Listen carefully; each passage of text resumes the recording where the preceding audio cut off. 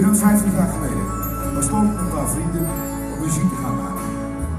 Niet wetende dat zij als vocale groep een unieke plaats zouden gaan innemen in de Nederlandse popgeschiedenis.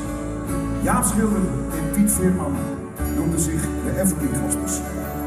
Kees Veerman Poesie kwam uit de Sputnik Boys en vormden samen met Arno een naamloos duo.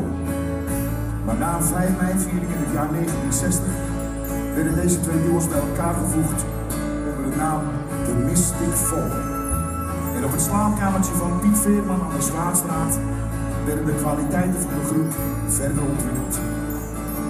Al snel kwam er een vijfde man bij om de groep ritmisch te begeleiden.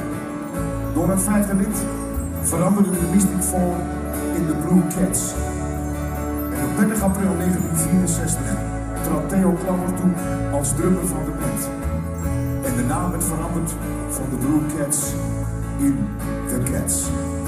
De legende werd geboren. 30 singles in de top 40. 19 in de top 10. 5 nummer 1 hits.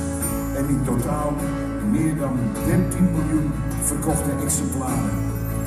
Het dorpje Volendam zal voor altijd verbonden zijn met de Cats.